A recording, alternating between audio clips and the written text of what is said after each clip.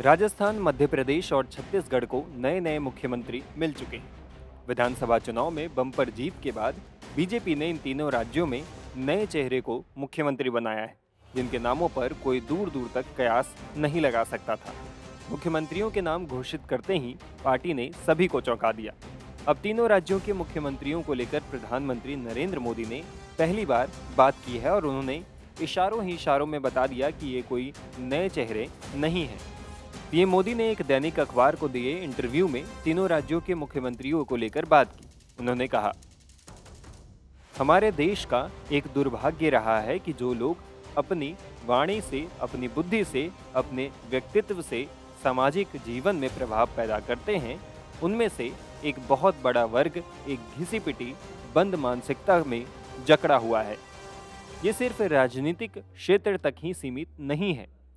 जीवन के सभी क्षेत्रों में ये प्रवृत्ति हमें परेशान करती है।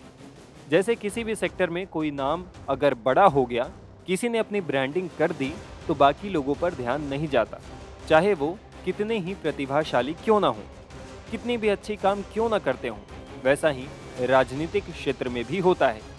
दुर्भाग्य से अनेक दशकों से कुछ ही परिवारों पर मीडिया का फोकस सबसे ज़्यादा रहा है। इस वजह से नए लोगों की प्रतिभा और उपयोगिता की चर्चा ही नहीं हो पाई।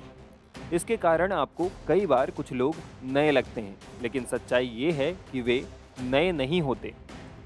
उनकी अपनी एक लंबी तपस्या होती है, अनुभव होता है। भाजपा तो एक काडर आधारित राजनीतिक दल है। संगठन के हर स्तर पर काम करते करते कार्यकर्ता कितने ही आगे पहुँच जाए, लेकिन उनके भीतर का कार्यकर्ता हमेशा जगा रहता है।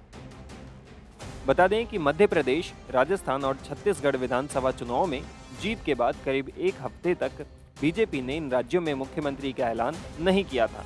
ऐसे में करीब एक हफ़्ते तक राज्य से लेकर दिल्ली तक बैठकों का दौर जारी रहा और जब एक एक कर मुख्यमंत्रियों के नाम का ऐलान किया तो तीनों नाम एकदम नए थे।